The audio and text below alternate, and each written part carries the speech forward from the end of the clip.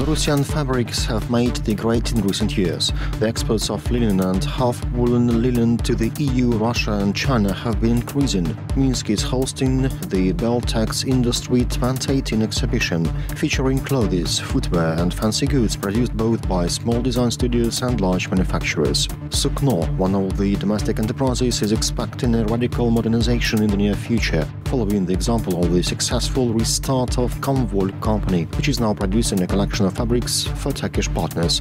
Today, Belarusi's Victoria Azarenka will try to get into the final of the prestigious tennis tournament in Miami, US. The Belarusian athlete will face US Sloane Stevens. The two athletes met two weeks ago in Indian Wells, and Stevens won the match. Victoria Azarenka has reached the Miami Open semifinal after beating Czech world number 6 Karolina Pliskova. Now Azarenka has all chances to skyrocket in the world rating the semi-sequel to Russia's popular movie Yolki, New Year Show, may be shot in Minsk. Yesterday, Timur Bekmambetov, a Russian-Kazakh director, producer and screenwriter who has worked on such bestsellers as Night Watch, Day Watch, Gorko and others, arrived in Minsk. The guest visited the renewed pavilions of the National Film Studio Belarus Film. The famous director met with the Minister of Culture and the Belarus Film's top officials and discussed the possibility of pavilions renting and by conjoint film production action.